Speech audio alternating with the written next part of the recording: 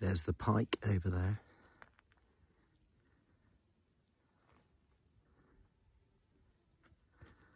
And there's Skiddaw.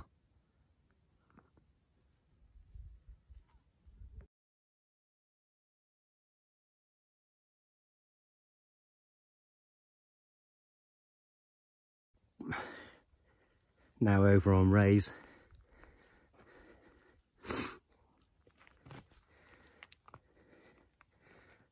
Skiddaw. no Blencathra, so the inversion must be above 850.